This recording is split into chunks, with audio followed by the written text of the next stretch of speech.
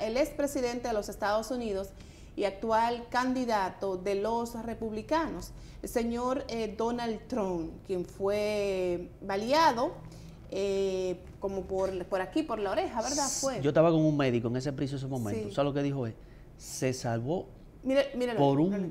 dice, menos de una, como dicen ellos, en un milésimo. Sí, si él voltea pero- el rostro, porque acuérdese que la locución de Trump siempre ha sido como así, usted no da cuenta, como él siempre inclina, Ajá. no habla casi de frente, inclina. Si en ese preciso momento de que hubiera girado así un poquito hacia el frente, no lo estuviera contando. Eh, me mandaron después anoche una imagen de Ajá. Trump, de que en el, que en el, en el saco hay una bala. Lo que pasa es que él tenía chaleco antibala. ¿Qué? Eh, al, sí, no la pude mandar a la producción porque la recibí muy tarde. Porque recuerde que salieron personas muertas ahí porque Sí. el, el el joven siguió tirando. O sea, ocho, fueron se habla de varios ocho. tiros. Se habla de ocho. Eh, y este le dio en la cara a Donald Trump. Muchos en un momento pensamos será un montaje que Donald Trump da para eso y para más. Lo sabemos que sí, es un tipo que juega con el mercadeo, Sí. eh, que sabe mercadearse, que sabe cómo conseguir eh, No votos y la mira. atención de la gente. Con esta imagen, eh, con, con eso que de ese mensaje Ponemos que nervioso deja Donald a- Trump ponemos luego a de China. su atentado, podemos ver, mire, ahí es el momento donde llevan a Donald Trump, donde va la seguridad y Ajá. todo su equipo y, el equipo de emergencia en esa ciudad al hospital a Donald Trump por el asunto eh, de esta bala en su cara. Donald Trump después vimos cómo se bajó, se cuidó, o sea que si hubiera sido a Biden posiblemente no estuviera vivo Biden. Un tigre, Trump. Porque Trump está, está vivo, está, está vivo el hombre. Entonces miren, aquí este es el supuesto Tirador. tirador, eh, que le ocasionó esa herida a Trump y que mató a otras personas que estaban ahí presentes, que también él termina eh, muerto. Pero esto le, le ayuda ahora a subir puntos a Donald Trump. Porque vemos un candidato y un- una persona que aunque tenga una edad avanzada, aunque tenga muchos eh, casos en la justicia de Estados Unidos, eh, se para de ahí, levanta el brazo y ¿qué pasa? A esos seguidores de Trump y a muchos estadounidenses y al machismo en general, ¿eh? porque hay muchos latinos que siguen a Trump, vamos, Sí. déjame decirte, ven entonces a un hombre fuerte, que lo hirieron y que como quiera se levanta, y que al otro día, ayer, va a un acto también de campaña, o sea, es que después de sacarlo del hospital sale caminando por sus propios brazos, eh, pies, o sea, ese, ese tiro a Trump ahora le subió puntos como tú no te puedes imaginar. O sea, que el tirador, en vez de hacerle un daño a Le un lástima a los que murieron, eh, que estaban ahí presentes, Algunos le hicieron un favor a Donald Trump porque ahora se ve un hombre fuerte, capaz de llevar las riendas de Estados Unidos, un hombre lúcido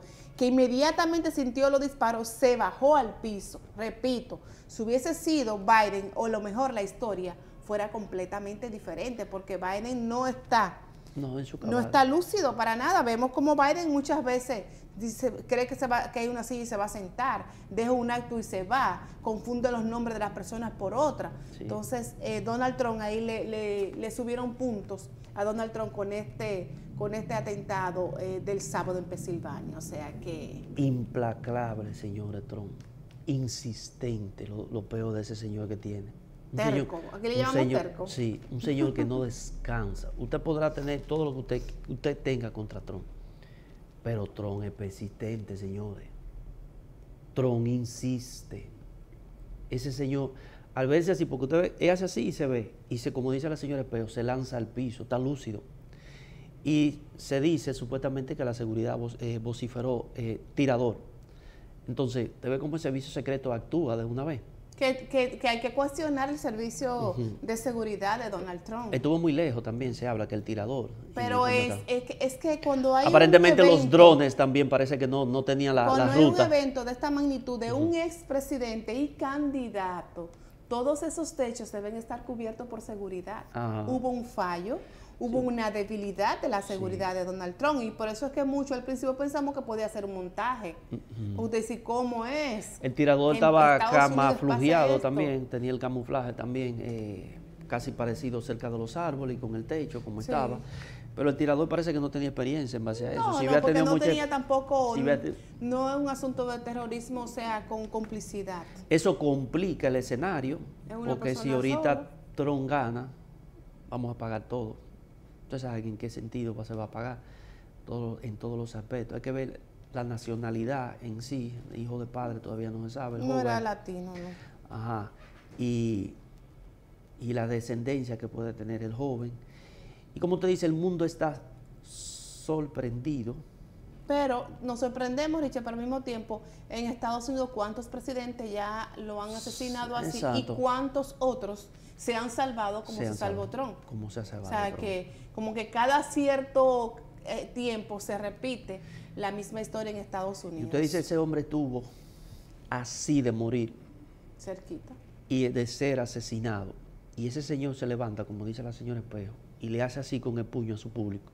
Estoy vivo. Hay más Trump para tiempo. Ya usted sabe, la se gente... monta en la jipeta todavía y el servicio secreto tratando de empujarlo y entrarlo y todavía le hace así a sus seguidores con el puño. Implacable. Es una máquina, señores. Otra persona se podía hasta desmayar ahí, porque Sí. imagínese usted. Y eso la bala, esa euforia, esa claro, euforia, también esa euforia que él tenía porque Ajá. estaba en un discurso, esa adrenalina, lo hace mantener así por un tiempo.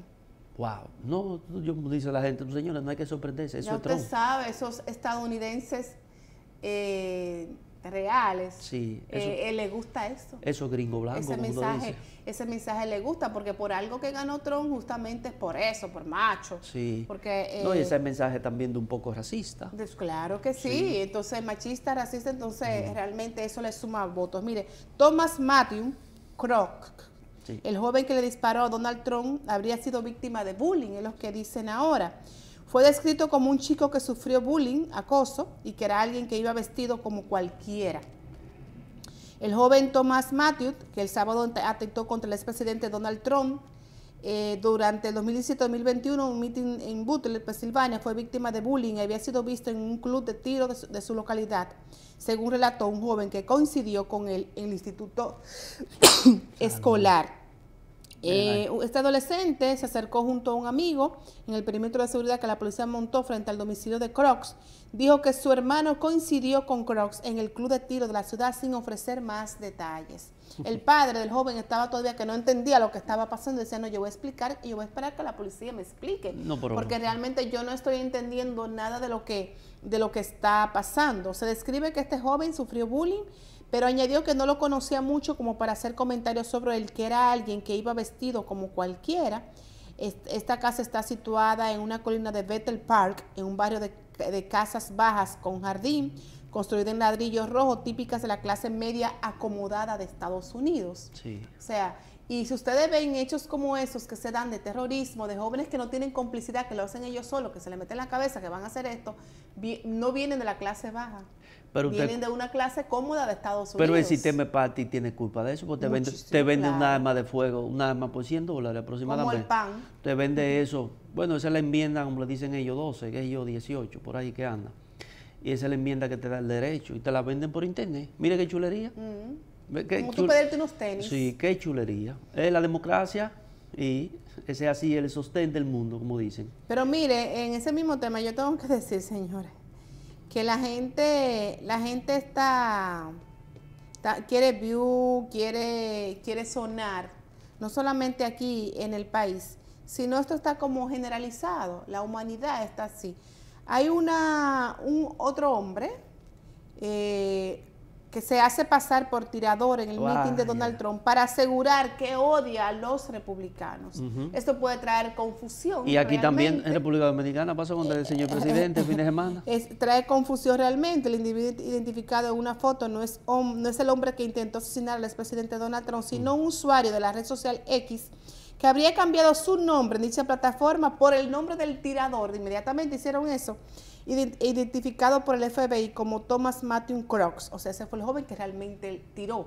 Pero hay otro que se está haciendo pasar por él en la red social de Twitter. Eso como pa- la- por- para que vean el odio que le tiene a los No, porque parece que se cansaron, parece que se cansaron de vivir, o de estar bien, o estar libre, Porque se sabe que él allá- debe, debe- deben de estar detrás de la pista de él ya.